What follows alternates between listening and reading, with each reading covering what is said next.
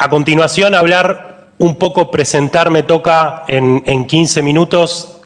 eh, la hoja de ruta de este Sistema Nacional de Bibliotecas Escolares y Unidades de Información Educativa. Eh,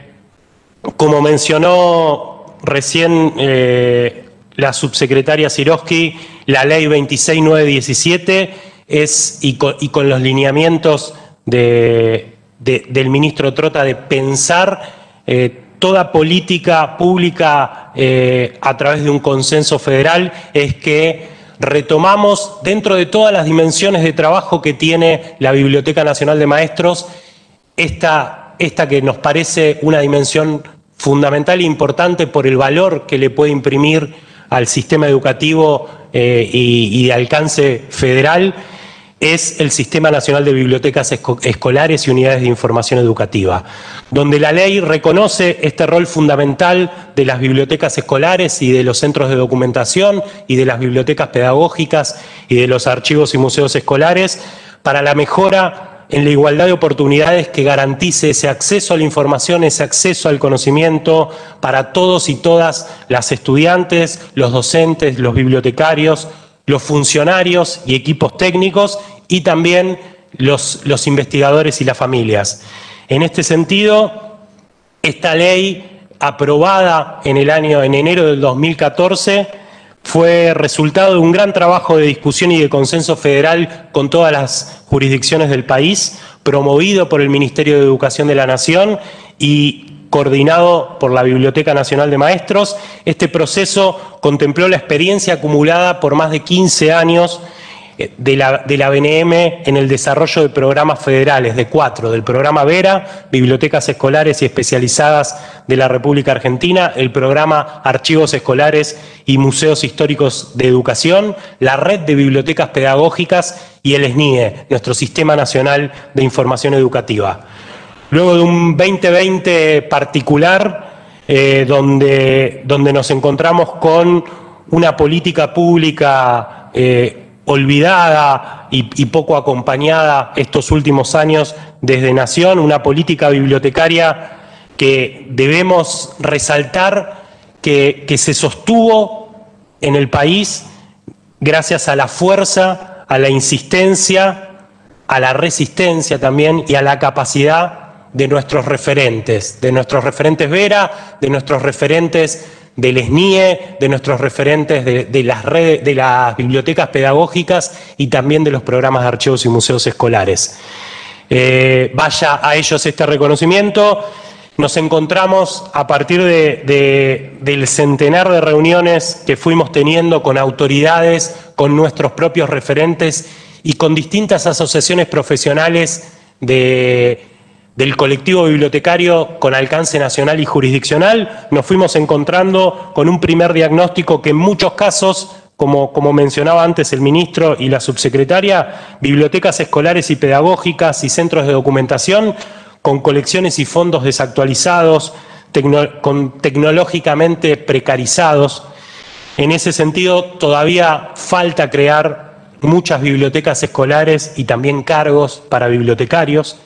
partiendo de ese primer diagnóstico inicial, donde también el equipo de la Biblioteca Nacional de Maestros se encontraba mermado, eh, pero no por eso, eh, a pesar de que se perdieron, eh, toda pérdida de, equipo y de recursos humanos conlleva una pérdida de, perfiles específicos. El equipo desde, desde marzo a esta parte viene, viene acompañando y viene haciendo un esfuerzo extraordinario por, eh, por seguir ofreciendo servicios de calidad, por seguir acercando contenido, eh, materiales literarios, pedagógicos y, diseñando nuevas estrategias digitales, presenciales, para poder asegurar la continuidad pedagógica, pero sobre todo para poder apoyar a los docentes y a los bibliotecarios de todos los niveles educativos, para que ellos a su vez puedan atender a sus propias comunidades de estudiantes y familias. Desde el 4 de marzo empezamos un trabajo con autoridades nacionales y provinciales de visualización del trabajo y del valor de las bibliotecas escolares. Poder mostrar ese valor que le podemos imprimir e inyectar a cada escuela y al sistema educativo en general Creo que muchos también vieron y valoraron todo el trabajo que, como mencionó antes el ministro, ustedes vienen realizando desde sus casas, las bibliotecarias y los bibliotecarios, y con sus recursos propios, con sus teléfonos, con sus computadoras, con su conectividad.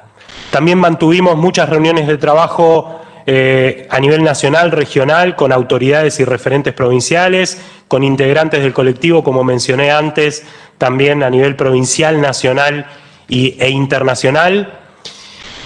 Y, hablando un poco de en qué estamos y la hoja de ruta de este sistema. Eh, en este momento eh, estamos encarando la, la conformación y comenzando el trabajo el próximo 11 de diciembre, por más que venimos trabajando previamente, pero ahora sí con el nombre de Comité Federal, estamos encarando un diagnóstico de cada unidad de información, eh, de cada unidad de información educativa que está abarcada por la ley. Estamos encarando la creación de documento administrativo para que las provincias puedan firmar y adherir al sistema nacional y también estamos preparando un documento base para la reglamentación de esta ley. Todo esto a través de un comité federal con dos representantes de cada jurisdicción,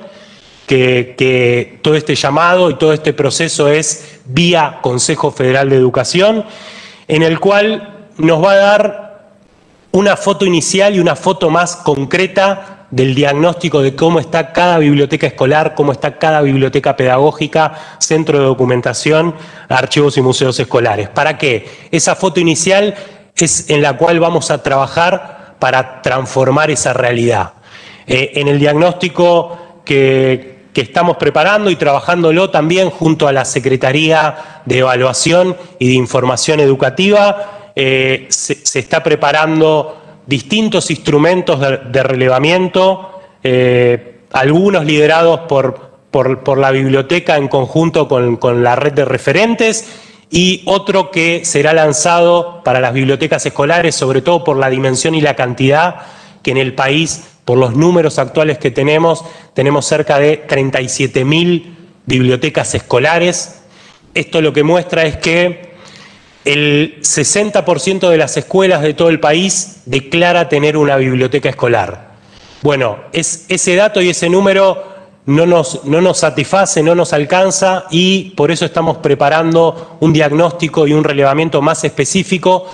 para ver cómo estamos, para ver esas 60% que declara tener una biblioteca escolar, ¿qué le llaman biblioteca escolar? Sabemos que hay casos donde hay un espacio o un cuartito que, con libros que lo llaman biblioteca, también sabemos que hay eh, jurisdicciones donde las bibliotecas están, están coordinadas eh, por, por, docentes o por personas también en tareas pasivas o por, o por personas de programas sociales. También ahí sabemos que hay, hay casos, y sería el caso también modelo y al que aspiramos y al que vamos a seguir eh, como, como, utopía trabajando, donde escuelas, donde haya bibliotecas escolares con profesionales a cargo.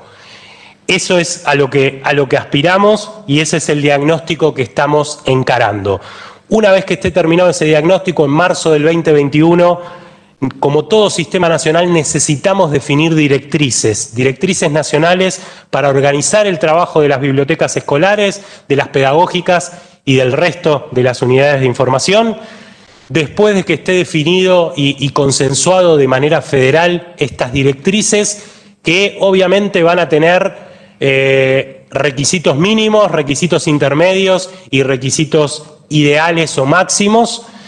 Se le va a pedir a cada jurisdicción que presente un plan anual o perdón, un plan bianual o trianual de adecuación a la ley. Ahí ese plan presentado por cada jurisdicción y obviamente va a ser un desafío eh, que lo tenemos que trabajar y lo vamos a trabajar con cada referente, a qué se compromete cada jurisdicción va a ser evaluado por este mismo Comité Federal, el cual será aprobado o también tendrá alguna devolución con sugerencias al respecto. Y después, una vez que esté aprobado, lo que nos queda es seguir haciendo un seguimiento y seguir haciendo una evaluación del cumplimiento de este plan y de los, y de los compromisos acordados. En ese sentido, también sabemos que, el financiamiento va a haber acciones que se van a financiar a nivel nacional, pero también eh, hay acciones que se tienen que financiar a nivel provincial. Desde, como mencionábamos antes, desde la transferencia de libros y otros materiales educativos, literarios, desde infraestructura tecnológica y de información. Digo, sabemos que tenemos, eh, más allá de, del valor que le damos y, de todo el cariño que tenemos con el software de gestión de bibliotecas escolares en nuestro querido y viejo Aguapay, sabemos que eh, tenemos y ya empezamos a encarar una tarea de actualización de ese software. Después, por otro lado, obviamente la capacitación es parte de, las acciones y de la política que vamos a financiar también a nivel nacional. Como mencionó antes la subsecretaria, estamos trabajando con el Infod en el desarrollo de un tramo pedagógico para complementar la formación técnica o, terciaria de muchos profesionales, bibliotecarios, bibliotecarias, porque también sabemos que hay casos donde para poder titularizar en algún cargo se les pide que tengan además que tener la carrera docente, es decir, a un bibliotecario o una bibliotecaria, a una bibliotecaria, perdón, para poder titularizar en un cargo, en muchas jurisdicciones se les exige siete años de carrera, cuando a un docente se les exige cuatro años. En ese sentido, también vamos a continuar preparando, como lo hicimos este año, y desarrollando distintos dispositivos nacionales para promoción de la lectura, para seguir automatizando las distintas unidades de información, para poder seguir digitalizando, preservando y poniendo a disposición el patrimonio histórico educativo de, nuestro país. Necesitamos que se creen bibliotecas escolares, necesitamos que se creen cargos bibliotecarios en todo el país.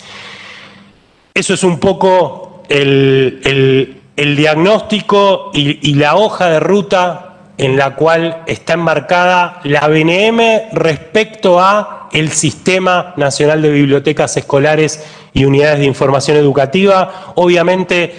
tenemos otras hojas de ruta y tenemos otras miradas sobre las otras dimensiones que tiene la Biblioteca Nacional de Maestros. La Biblioteca Nacional de Maestros es además una biblioteca gubernamental, Eh, que tiene un compromiso de preservar, de organizar y de poner a disposición toda la producción del Ministerio de Educación de la Nación Argentina. Y tiene un compromiso con sus usuarios, con los funcionarios y con los equipos técnicos. Después, por otro lado, nuestra, nuestra función como biblioteca pedagógica de poder atender a los estudiantes, docentes, maestros y maestras y bibliotecarios de todos los niveles educativos obviamente también como una biblioteca pública eh, que, brinda abierta y, brindando servicio a la comunidad.